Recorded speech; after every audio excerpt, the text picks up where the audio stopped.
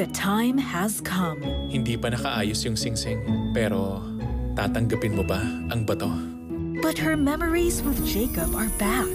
Elise, gusto kong suklian ang pagmamahal mo. Mamahalin kita. Kung tatanungin mo ko kung hanggang kailan kita mamahalin, higit pa sa magpakailanman, pangako.